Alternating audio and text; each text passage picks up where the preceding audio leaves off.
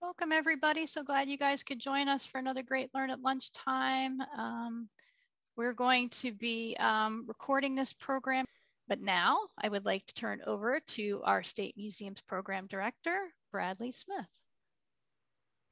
Thank you, Sherry. And hello, everyone. Welcome and thank you for joining us today. I am Bradley Smith, Program Director at the State Museum of Pennsylvania, and this is Curator's Choice, a program of our Learn at Lunchtime series. Today, we're pleased to introduce Dr. Kurt Miner as this week's Curator's Choice speaker. Kurt has been a curator with the State Museum since 1994. Hi, Kurt. And he has been, hey. our, he has been our senior history curator since 2011. His program today is entitled Fly Over Pennsylvania, T.M. Fowler's Bird's Eye Views of Pennsylvania. Kurt, thank you very much for joining us today. Well, thanks, Brad. I'm looking forward to the presentation. I want to uh, uh, begin by talking about, uh, well, the, the, program that led to this program, which was an exhibit um, we assembled uh, at the State Museum of Pennsylvania in the fall of 2017. Um, the exhibit was titled Everything of Interest Shown bird's eye views of T.M. Fowler in Pennsylvania's of Pennsylvania cities and towns. The original exhibit had 40 featured 40 original lithographs, and there'll be more more to say about what a lithograph is in a minute, uh, from the State Museum and State Archives collections uh, associated with a fellow named T.M. Fowler. In addition to the original lithographs, which were framed and arranged by Regent, we also uh, included in the exhibit an interactive, which you see on the right-hand side, that allowed visitors to uh, uh, pull up scanned Fowler views, uh, again, close to 200 that were made of Pennsylvania cities and towns and explore them on, on their own, as you'll be able to do at the end of this presentation, I hope. Okay, I'd like to begin by uh, starting with answering the question of who was T.M. Fowler and who were these bird's eye view makers that he was associated with? Uh, it was a very small fraternity, these bird's eye view makers. Uh, there were about 50 of them who were um, in operation primarily in the decades after the Civil War. Uh, the image I have up here shows um, uh, the man of the hour T.M. Fowler, and he went by T.M. perhaps because his name was Thaddeus Mortimer, which did not quite trip off the tongue. So he, he was he was known as uh, uh, T.M. Fowler to his uh, associates and to those um, that uh, purchased his, his views. Uh, but he worked closely with a number of other view makers over the course of his career, uh, these view makers, they were itinerant, meaning they traveled around and effectively they divided up the United States into territories. The Bailey brothers were based in Ohio, but they sort of claimed much of the Midwest and parts of uh, New York and New England. Uh, John Reps, who was a uh, who was deceased, he uh, died actually this past year after a long career at Cornell University, where he taught urban planning and urban history uh, wrote the definitive monograph on bird's eye views. And he, uh, according to his count, during the few decades after the Civil War, these bird's eye view makers generated about 4,500 views of about 2,400 American towns and cities. Uh, who was more specifically uh, T.M. Fowler? Well, he we know he's a native of Massachusetts. We knew that he entered into the Civil War. Uh, he uh, volunteered for the Civil War and became a camp photographer, which may have been um, perhaps uh, an important uh, pre-training for his uh, career after the Civil War. Um, in the 18, late 1860s, he set out for the Midwest and started uh, apprenticing with a fellow named Albert Ruger, who ran a bird's eye view business uh, based in Chicago and had a, most of the upper Midwest. Uh, Fowler worked uh, with, with um, Ruger for a time before uh, lighting out for Pennsylvania in the 1870s uh, and eventually setting, settling in Morrisville, which is in Bucks County. So what's the big deal about T.M. Fowler? There were other guys doing this kind of work. Well, he's distinctive for a couple of different reasons. First of all, he had an extremely long career. Uh, he literally worked for over 50 years at bird's eye view making. As a result of that longevity um, and his own work ethic, frankly, he became the most prolific bird's eye view maker in American history. According to John Reps, uh, Fowler was responsible for uh, about 425 views. Um, now, what's remarkable about that is that more than half, and John Reps counted 248 specifically, were done in Pennsylvania. Um, this particular slide is kind of interesting because it shows Fowler as a young man and Fowler's first published view of Pennsylvania from 1878. It's of Allentown. In the lower right, we see a, a, a, a photograph of Fowler now as a middle-aged man. And interestingly enough, his last published view of Pennsylvania, also ironically, of Allentown. Um, most of Fowler's views um, were executed during an extremely prolific 20 year period from 1886 to 1906. The question then becomes why did Fowler choose to play out his career largely, not, not, in, not solely in Pennsylvania? Uh, I have to put up this rather boring uh, table and graph, rather, to show why, in some ways, it was simply a matter of supply and demand. Pennsylvania, after um, after the Civil War, if we can go from about this point on the graph to about, let's say, 1920, uh, was on an upward trajectory in terms of population. Um, this was expressed in a couple of different ways. You would have seen if you dropped into Pennsylvania during this, this period of time, existing towns and cities expanding in size, and also new towns forming overnight. These are the boom towns that we have all heard about probably in American history. And we think about the gold rush, we think about the oil boom, but there were other types of boom towns that were centered around perhaps more prosaic industries now, but industries like steel. This is a view of the Homestead Works of Carnegie Steel at about the time that T.M. Fowler was wandering around Pennsylvania. And we'll get back to his wanderings here in a little bit. Um, Pennsylvania became, of course, the number one manufacturer of steel. Most of it, not all of it, was concentrated in southwestern Pennsylvania in places like the Monongahela Valley. Of course, we also had another big industry, coal. And as if, if you know your Pennsylvania history, you know that we had two types of coal. We had anthracite, which is depicted in this, this particular view, and also bituminous coal. And what I think is interesting, and certainly what people, town view makers like uh, Fowler recognized, is that these industry, the towns were centered around the industries, and the people and the houses were kind of secondary, um, which I think is uh, isn't just an interesting part of what was fueling town growth at that time. There's other there's another more practical reason for why Fowler set up shop in Pennsylvania and ended up having uh, such fertile ground to plow, and that's because Pennsylvania was endowed with an excellent infrastructure, especially if you're an itinerant artist and dependent on transportation to get to these places where you may be creating bird's eye views. This this view from 1893 shows the fact that you know Pennsylvania was literally honeycombed with rail lines. Uh, that made towns and cities accessible to the itinerant artist. And I think it's also, I should note parenthetically, that trains and railroads are featured in nearly every view with one or two exceptions.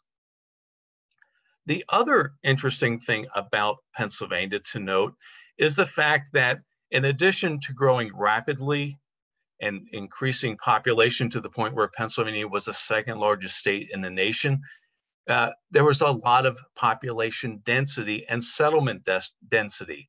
Why is that important? Well, it allowed a viewmaker like T.M. Fowler to economize on time and travel and maximize his output. This is a, a 1916 roadmap of Schuylkill County. It shows the approximate um, location um, of four towns, Girardville, um, Frackville, Shenandoah, and Mahanoy City. And if you can see here, they're very close to each other. And go figure, uh, T.M. Fowler sketched all four of these. The result of, of this kind of density com combined with growth and sheer numbers of municipalities that were going online in the in the late 1800s is that uh, Fowler was able to work systematically by region to maximize production based on this proximity. Uh, parenthetically, his high point of production uh, was in 1893 when he generated uh, 25 views in a single year. That was an average of about 16 views. Um, um, oh, I'm sorry, I miswrote, miswrote that. It's, um, it was uh, it was an impressive production. He was known among his peers for both an obsessive attention to detail um, and also uh, impressive productivity. And the map, by the way, which again was assembled by John Reps, shows Fowler starting out in northeastern Pennsylvania, moving to, to uh, south central Pennsylvania, back up to northeastern Pennsylvania, hanging out there for a few years, dipping down to southeastern Pennsylvania, uh, going back to south central, then to northwestern, then to south or western Pennsylvania, and then finally kind of honing in on southwestern Pennsylvania, um, the, the, steel region and the coal region there, which is where actually the vast majority of his views were of those communities. Um, the result, I think, of Fowler's concentration on Pennsylvania for us today is this statewide canvas. When views, viewed in its totality, Fowler's Pennsylvania views, I think, in, in a couple of different things, they did a couple of different things. Well, one, I think, things I think is interesting is that they document the diversity of the state's physiographic regions. And an, another theme in Pennsylvania, of course, is the impact of geography on economic development and settlement patterns. And these five examples are from five discrete regions, the Ridge and Valley region, which extended into northeastern Pennsylvania, the, the coastal plain along the Great Lakes, um, the Allegheny Plateau in uh, uh, central and western Pennsylvania, uh, the rolling uh, uh, farmland of southeastern Pennsylvania, and this is a river town in the Monongahela Valley near Pittsburgh. Um, so what exactly were these bird's eye views that Fowler and his cohort specialized in in the decades after the Civil War? Well, um, I'm showing this example because it, it's a bit of an origin story. Uh, bird's eye views were generated, uh, that Fowler was generating evolved from earlier panoramic views. What I'm showing here is a uh, view of Harrisburg from 1855 in perspective. And what this does is it shows the city as it would have appeared to the naked eye if it was, you were looking at Harrisburg from the point of view of a particular bluff of a few hundred feet. Um, and you can see the buildings in the foreground. This is the Old Hills Capitol for those of you who are familiar with our state capital here in Pennsylvania. Um, you can see Capitol Park, and you can see some houses along what would be present day State Street in quite a bit of detail. Uh, but of course, what's also interesting is that uh, the buildings and features in the background become less distinct as they vanish in the horizon. And let's see if I can do this and highlight that. You can see as we look back here, it's they're not quite as distinct, and that's because it's in one point perspective with a single vanishing point. We're accustomed to artwork looking like that, and these panoramic, early panor panoramic views conform to that. Now compare that to this 1881 bird's eye view of Harrisburg, you know, about, you know, almost 30 years later. Now, two things you note from a much wider perspective, um, as you can see here. Um, let me see if I can pull my laser pointer up. You know, you've got quite a bit of an expanse now covered by this map, and probably even more notable from a much higher angle, from about two or 3,000 feet in the air. And you'll see if you look closely at this, which we'll do again, it shows all, all of the houses and streets and rail lines um, in, uh, in Harrisburg and the public buildings as they would have appeared to a bird flying overhead, hence the name bird's eye view. Now, what makes that a bird's eye view impor really important is because of this perspective, um, higher and wider, if you will, the features and the buildings in the background, and this is the background of the view, um, are in the same level, are at the same level of detail. And I'm just going to zoom in just for a moment and zoom back out if I can, as the buildings and features in the foreground. And you can see that in the foreground of this particular view of Harrisburg. So it's much more map-like than landscape painting-like in that regard, and it allows for a lot of detail. Um, this leads uh, led people to John, like John Reps, to a, to a question: How did they pull this off? There are a lot of myths surrounding the techniques of these bird's eye view makers. What was their trick? Did they have some kind of trick? And uh, John Reps uh, dismissed these when he was doing this early history of the bird's eye views back in the 1980s. It, it, it was not because of a, a, a pigeon that might have had a camera attached to its feet. It was not based on photographs that were generate, generated by a man in a hot air balloon flying over the city. Um, instead, these were created by just a lot of hard work at the ground level, surveying and canvassing the community. The process began with Fowler arriving in town. He would have begun by drawing the town's street grid from the available maps and then placing them on a large sheet of paper. And it would have looked something like this. And you can see where he's drawn in the grid and he's sketched in a little bit of the background as well, uh, the topography. Um, that was the easy part. The hard part was then um, going through the town and capturing all the building and features. And to do that, the only way to do it, if you were a bird's eye view maker, was to walk every street with a sketchbook, drawing every building and feature that was could be observed. These sketches are not from T.M. Fowler's notebooks. They did not survive. It's from a colleague of his who worked in New England. But as you can see here, they've they've got the buildings sketched out and some notations. If you could read these, these are notes from the artist to the artist, noting important landscape features that he wanted to remember.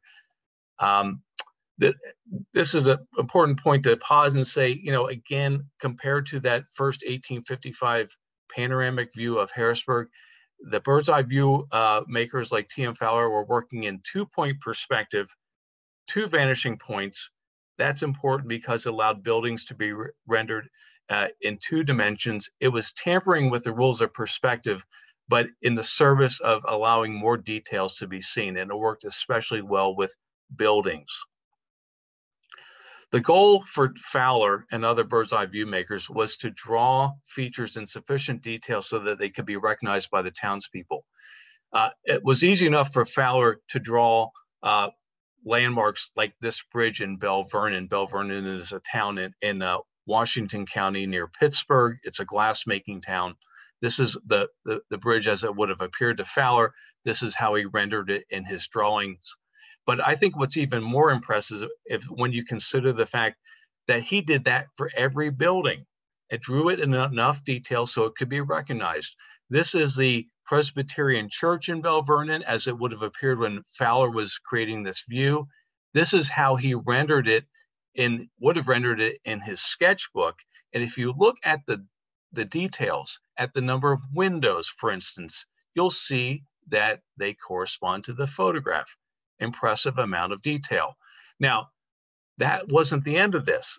Once he had the sketch in hand, in the evenings, we're presuming, he went back into his hotel room. Remember, he's a traveling artist. Um, opened up his big plan, his big sketch, and then redrew this any particular building back onto his view in proper scale. Uh, this was a very labor intensive process, and it didn't end there. This is eventually what he would have ended up as his finished drawing. This view of Belle Vernon is one of only two or three original drawings that have survived because these rough drafts had no utility once the view was published. And that's the second part of this process. Once the view was completed, uh, bird's eye would send the drawing off to the lithographer. Um, every drawing um, and lithography was uh, crude way of reproduction. It was relatively cheap, relatively inexpensive. Every drawing, though, had to be copied, um, recopied onto a limestone tablet that's being prepared here. And then there was an engraver who worked with a grease pen who recopied the image and then sent it over to this fellow who would ink it down and, and pass it through a press. And that's a very quick description of a very complicated process. But the magic of lithography is that it turned a rough draft that you see here into a completed print with sharpened details, vivid colors and lines.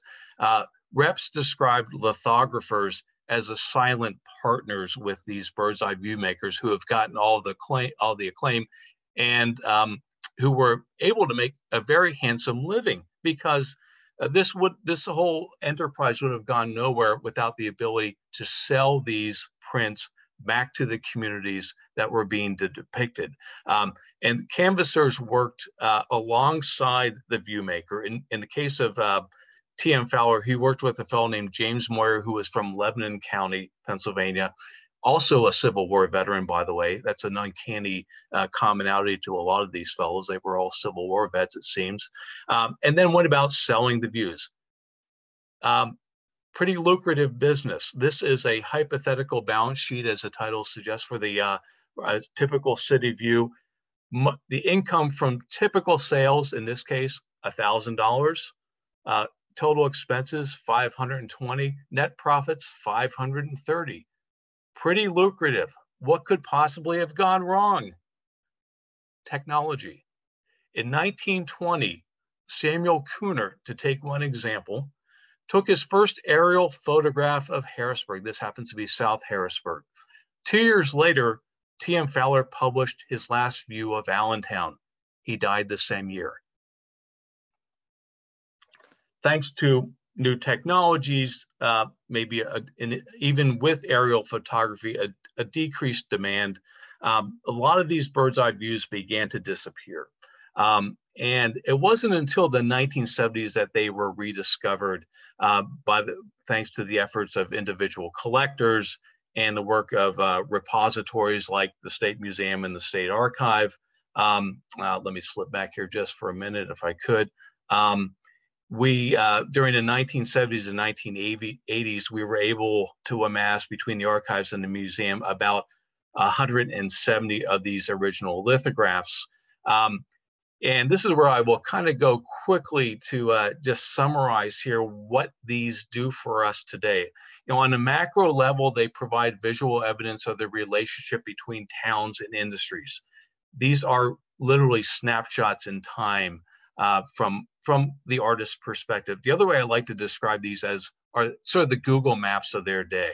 Um, this is a view of Edwardsville, as a very small town in in the coal regions, and you can see here, you know, these. It really brings out the detail of these large mountains. Well, those mountains are actually culm banks or coal waste, and the town was built around them. Uh, again, a snapshot in time. Um, you can use these views as many uh, urban historians and, urban, and uh, historical geographers have, have used them in order to understand city form, urban and industrial transportation system. This is Homestead. You see a coal barge moving down to Monongahela. You see rail lines. Um, you can, if you look closely at any view, you can begin to see the elements of city building. This is a Ford City in Armstrong County. It was a glass town. It was also a model company town with all of the elements one would expect if you look closely at this bird's eye view. The, the factories near the river, um, the transportation system, specifically the rail lines, which also followed the water course. Um, stratified housing, uh, not only the churches and, and the homes of the middle class, but in this case, working class housing and probably company housing. And of course, public buildings like the local public school. Even amenities like city parks can be found in these views. And of course, the ever present um, influence of geography. This is a large bluff um, at the what I guess would have been the I'm not sure western end of uh, Ford City that that obviously penned in the housing uh, up to Seventh Avenue there. Um, that what I really find charming about bird's eye views is that sometimes the story that they reveal is self-evident, and sometimes you have to look more closely to find out what the story is. This is a view of Montrose, which is a, a small community in northeastern Pennsylvania near the New York border in Susquehanna County. When I first looked at this, I saw a nice ordinary looking town from a macro view. You see houses and public buildings. It has a nice square you can kind of it's a New England style square. It looks it's quaint, um, but it really wasn't until I looked more closely at um, the key, and each view provides a key that I noticed something quite interesting, which was the fact that this small town had two churches uh, that, that were of the African Methodist Episcopal denomination. And the location of these can be found on the map. Um, I, I consider this these kind of details divining rods for revealing a past. In this case, uh, Montrose's involvement in abolition and its subsequent destination for free African Americans uh, as as a really key part of what these bird's eye views can do for us today. Um, and there's also, and I will conclude with this, a kind of where's Waldo element to these. Um, one of the first views I looked at when we began this project was the town of Pottsville, which I knew because it's in the coal regions, but most importantly, it's known today as the home of, quote, America's oldest brewery. And sure enough, if you look at this view of, of Pottsville, you will be able to find Yuengling's Brewery nestled here among all of these buildings. Um, today, you can use these views to compare earlier snapshots provided by TM Fowler to what's provided through Google Maps today. Another uh, a, a kind of intoxicating diversion if you are interested in how places change over time. The interactive, as my last word, um, is something that we had that was a popular part of the exhibit. We we have brought it back to uh, uh, back it in action, so to speak, by bringing it online. And um, I'm actually probably going to use this as an opportunity to turn this back over to our host to talk a little bit more about the interactive and um, and answer any questions that you might have what you're going to do when you go into the website, um, and I'll put that in the chat box, a link to how to get to this website, you'll see that the towns here are on the side, all in alphabetical order. And then there's the county map. Which county you want to go to, Kurt? Uh, well, I, I was, you know, you can play around with any of these, of course. I just, yeah. one of the things I was interested in looking at recently is uh, if you go to Jefferson County, and pull up Punxsutawney. One of the I was just since we were we're kind of past Groundhog Day, but we're never really past Groundhog Day, are we? Um, I thought it was fun to to see. You know, I wonder if Gobbler's Knob is depicted in in Punxsutawney instead, from what I was able to determine. And this is where it's kind of fun to go back and forth between Google view, Google Maps, and uh, the, the Fowler views uh, I finally determined that Gobbler's Knob is not in this view. In fact, the depiction that Fowler created is from Gobbler's Knob or close mm. to it. So it's looking down on the, the, the town of, of Punxsutawney, which is uh, has some cinematic fame, as we all know. Thank you, Bill Murray and Harold Ramis. Um, so, it, but it shows some of the features of the town that were stylized in, in the movie. And I, I just think that's fun because you. The other thing, the last thing I, as I'm reminded about this is, well, TM Fowler was focused on buildings and natural features and making sales and making a lot of money by doing this. He peopled them, and I see that Sherry as you're moving around. One of the the other great charms is that he captured some degree of what life was like by what human activities were taking place in any given town at any given moment. Now, much of this was probably part of his imagination, but I'm sure he saw, as you are showing there, a ball field, mm-hmm. and he, sh- he showed horses and carriages. And if mm-hmm. you if you pan back out, there's a there's a there's a, a racetrack, and a lot of these towns had racetracks because it was the 1890s, and that was popular, you know, a popular pastime. So it's a there's a lot of incidental details that Fowler did not probably see himself as uh, trying to monetize. Every building he, he captured, he thought was a possible way to monetize these drawings because someone who had an attachment to that building might buy a view from him. Mm-hmm. Um, but uh, but I think these as a for us using these as historical resources, um, you can you know, it's again they're they're shockingly accurate and they yeah, right down to the level of detail you can see in the particular houses with the number of windows, architectural styles, etc. So um, they're, they're, they're, the the uses of these are are somewhat endless. It really depends on the kind of question you want to ask. And I'll finish with one one thing, just one tangent that I went off in. I, I actually went on a brewery tour of Pennsylvania with T.M. Fowler and I was able to find about 27 breweries, brewery buildings in the views that we have um, online and in our collections at the State Archives and the State Museum. And what's interesting about when that is that you begin to see patterns. Uh, what what were what did brewery buildings look like? Where did they locate um, within towns? And and and why why did Pennsylvania have so many breweries? And that's a that's a topic that Brad, who likes to talk about alcohol, uh, it was, and it did did so uh, in a very eloquent way when he was discussing distilleries.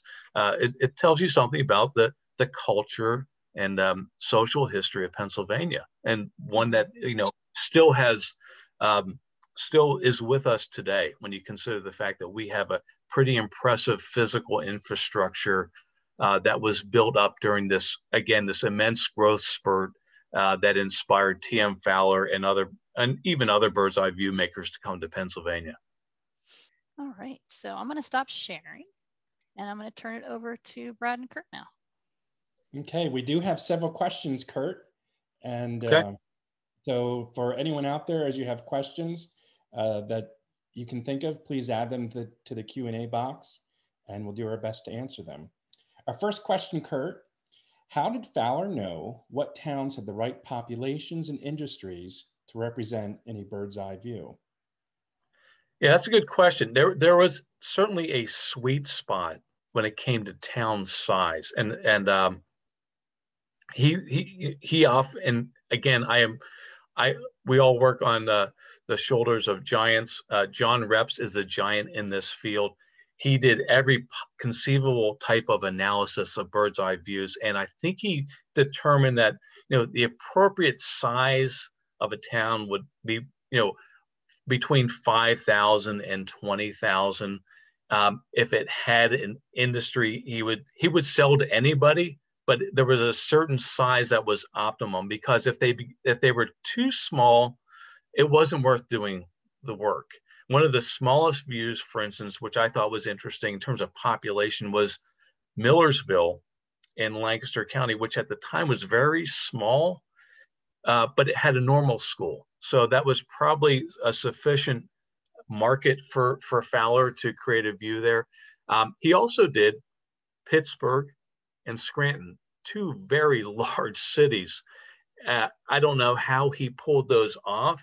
Uh, but that that seemed to really strain his ability. So I think he he tried to find medium-sized cities that would again that sweet spot between doable because you could you could cap you could conceivably walk the town and canvas the town, and also then create enough views and enough of a market to then sell them. So that I, I don't know if I precisely answered that question, but that he was just looking for anybody who would be willing to subscribe and often the key was getting one town playing town pride off of of of you playing the town pride game to the extent that if there were a lot of it's interesting to follow newspaper reports because um, a town would say, well, Frackville just got a view. Uh, so I think Shenandoah City needs one now too, you know, and that he, that was, that was part of his, I think, business plan uh, was, was to uh, generate demand that way as well. Hmm. Very interesting. Next question. Are there any lithographs that depict towns that no longer exist? Um, I want to say that's a great question. And I want to say yes, but I cannot come up with the, the name right now. There's there's a there are one thing I can say there are towns that I thought were not towns uh, any longer, but their names had changed. Um, and um, and I and again off the top of my head I cannot remember that, but uh, what the name of that town was. But that is a great question. And yes, there there are certainly places that have changed a lot. Their, their, their name may, may have changed. And I, that's something I can get back to them on. Uh, whoever's asked that question, I, I know I have some information about a few of those towns that did, in fact, either disappear or combined with another town. So they've effectively disappeared. Hmm. Thank you. Next question. On the website, it doesn't appear that he worked at all in Delaware County. Was this because another bird's eye view maker had already claimed that as his own turf? Precisely, precisely. Uh, there's if you look at the interactive map, you'll see there's some some blank spots. You know, um, that wasn't because there wasn't anything going on there. Typically, it's usually because uh, precisely somebody else had already gotten there. I thought it was interesting when I first began this project that Fowler did no views of Harrisburg. Well, he didn't need to. Harrisburg had already sat for its portrait many times. So often larger larger communities had already attracted bird's eye view makers. It where Fowler's business model was to get to places that typically had not had a view made for their particular community yet. And yes, and that does explain it. There's if if this individual is interested, I I have a resource for uh for locating all town views for any Pennsylvania county, and I'm happy to share that outside of the of this this particular program. Okay. Here we have a follow up to the previous question about towns which no longer exist. Uh, someone asked if Centralia was a town that. Mm. No, no, that's not one that Fowler covered. He came close to it, and if you if you follow those, uh, if you go to our interactive, and you click on the map, you'll see that he got close to that town, but it was not, he was not there. He did not, that's not one. Now, having said that, there may be a bird's eye view of Centralia. And again, the same, I would direct uh, this individual to the, that same resource and would be happy to, to, to verify that um, af after this program. Okay. Did Fowler ever document a town more than once? Yes he did that in a couple of occasions. Allentown was the one that I I, I had mentioned. Um, there was a, uh, the other town. Um, uh, it was in Western Pennsylvania, and I'm going to misspeak. I, I want to say Monessen, uh, and it, but I, I need to verify that. So he did go back to a couple towns a couple of different times. Yes, and again, uh, what's interesting about it, I, Allentown's my favorite example of that. But uh, in the case of the other community, which is in Western Pennsylvania, it was interesting because you can, thanks to that, note subtle changes. And, and in case of Allentown, dramatic changes because it was nearly 50 years between between the times he had been in, in Allentown first time and the last time. Next question, a lot of great questions here. This is excellent. Next question, was Fowler trained as a draftman or a classical artist or what was his training? How did he no. he was self-taught. Now, this is I'm glad somebody asked this question because it's it's fascinating. Um, Fowler's only had no training as far as we know. He worked, as I, I think I mentioned in the introduction, he worked as a, a photographer uh, during the Civil War, a camp photographer. And I think that just sort of introduced him to the concept of, of composition, visual composition. From there, we don't know precisely why he moved from photography back in time essentially to um, the bird's eye view making, but he did apprentice with a bird's eye view maker. Um, having said that, what I thought was really interesting is that a, a, at least in a couple of instances, bird's eye view makers um, were were working in other kind of weirdly related trades. Like there were a number of them were who were um, carriage painters.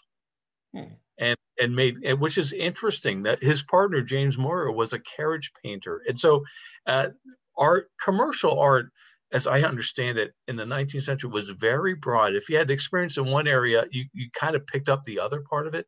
Um, and but no, he didn't. none of them, as, I, as far as I could tell, had any formal training. They saw themselves as draftsmen. Uh, and they worked in a very spare style, but they but they relied on each other to learn the technique. And the, this is classic craftsman's empire. The, the art and mystery of the trade was passed from one from one master craftsman to an apprentice uh, who then became a journeyman and then eventually struck out on his own. Uh, it was very much a, it was not uh, conducive to fa factory production, really, when you think about it. We relied on the skills of art, of self-trained, but closely um, supervised artisans. We have a pair of questions that somewhat uh, go together is there a reason why Allentown was his first and last view? Was that by coincidence or by design? Um, I T.M. Fowler had some bizarre connection with symmetry. he he had yeah, that's all the only way I can explain it. He worked for 50, you know, he he began his first published view was in Allentown and the last one was there. We he literally died I think my understanding is he had slipped on a piece of ice after he completed the view, hit his head, and died. Um, hmm. something along those lines. But no, that that is just pure coincidence. But he seemed to uh, have this uncanny knack for uh, some kind of uh, symmetry in his life, and he he liked to he literally bookended things, and it was a really kind of just a neat little uh, just coincidence as far as I can tell. Hmm. Next question you talked about how he'd, he'd go through the process of sketching, but one person is wondering, did he ever use photography to sort of supplement his his work in creating the views? That is an excellent question, and um, I have not seen any evidence of that. But you know, honestly, I had never even asked that question because he clearly was familiar with photography. Um, um, and that is something I would like to follow up on because I that's a great question. And I did I know that there were some tricks of the trade um, that he would have used, you know, available visual resources.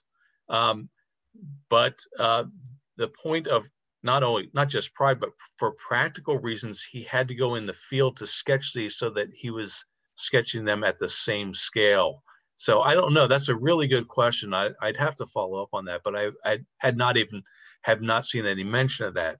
Uh, that he assumed the assumption is he drew everything uh, from uh, well, in plein air, you know, through through visual observation of the real thing, while he canvassed the town with his sketchbook.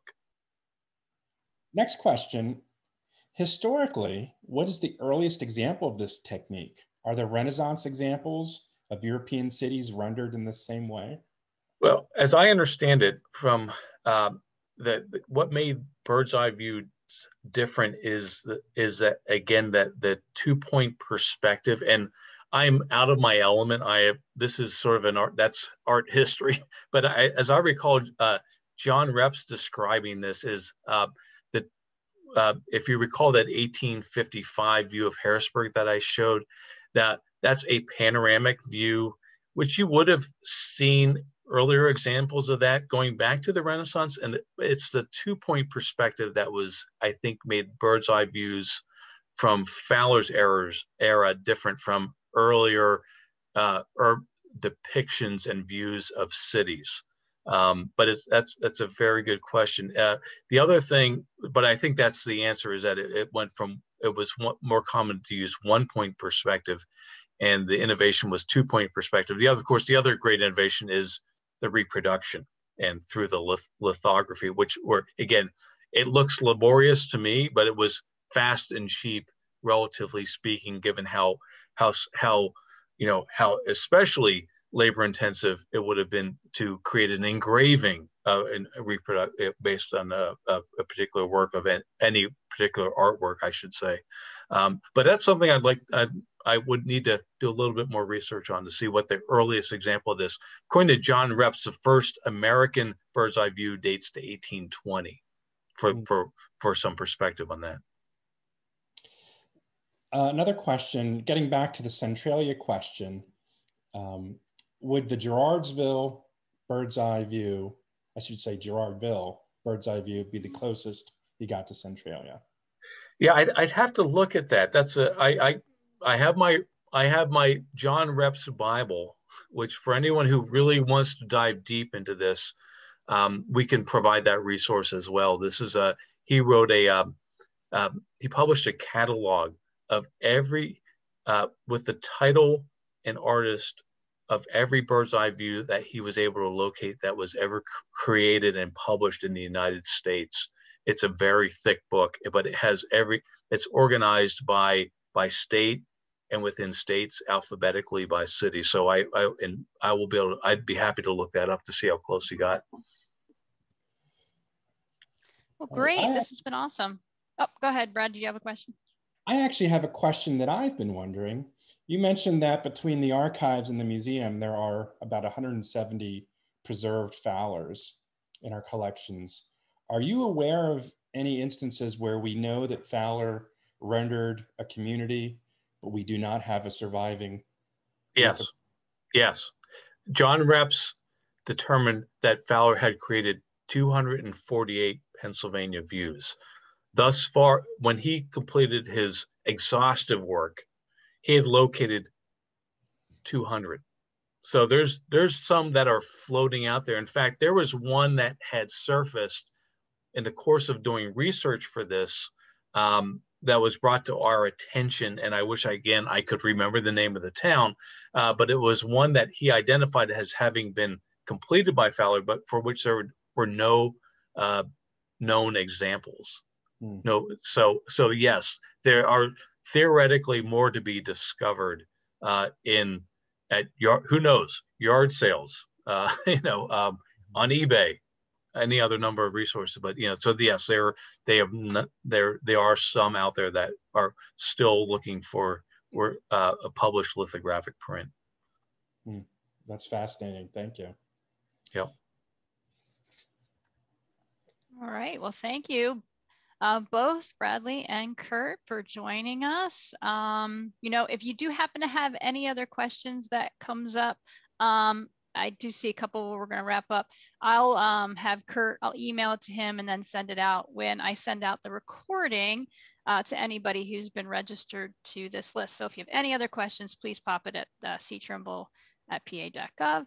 All right, so next week, um, we're going to be with the uh, director of the museum, uh, Beth Hager, and she's going to be talking about our collections.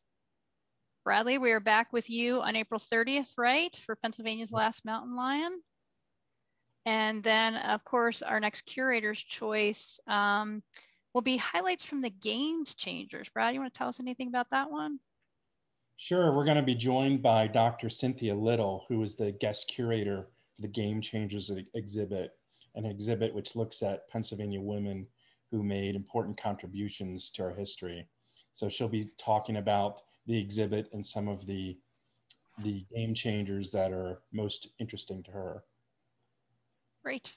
And of course, uh, we encourage you to sign up for all at Lunch Times that's in the chat box. Um, also, the chat box includes that link uh, that in, uh, talks about the reopening of the museum on April 30th and all the things that go along with that. So check that out. And everybody have a great weekend and thanks so much.